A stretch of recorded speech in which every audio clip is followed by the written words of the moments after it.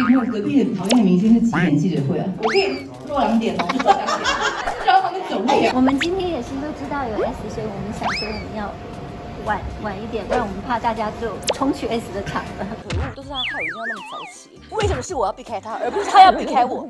为什么是我为什么要避他？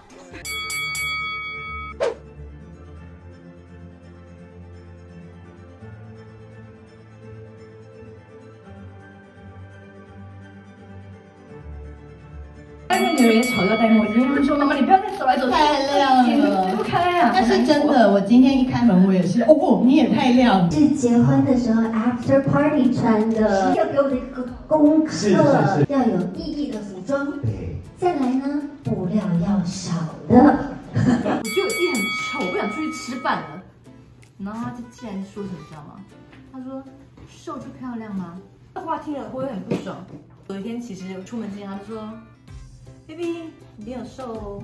和先生有一个约定，我跟他讲，有些我可能表达不出来的时候，你可不可以允许我，让我牵着你的手，让你感受到对方的温度？我觉得那一切事情都可以过。代言价码谁的比较高？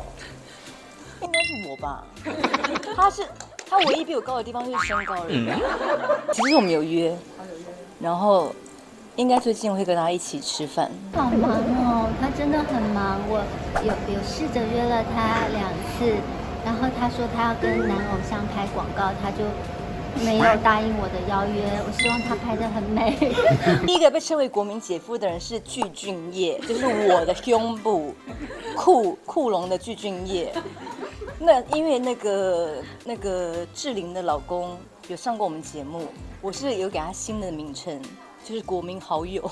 嗯，我老公不会被抢走就好了。知道他心机有多重吗？背后有一个人拿一个那个吹风机在吹他，他这样一过来，然后头发这样你要不要。试一试试一试？我才不来，我不来这一套的。我帮你好吧我不来这，你帮我的话，我我帮你。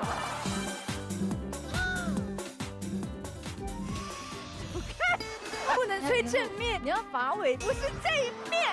各位媒体朋友，大家好！今天我非常荣幸能和我自己的妹妹合作，期待在未来的日子里，我们能够擦出不一样的火花。还擦出火花嘞？擦你屁股吧！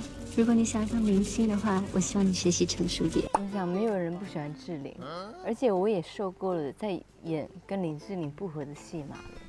她也不就是太高，然后长得有点漂亮，跟金城武演过戏，我觉得就我练也 OK 啊。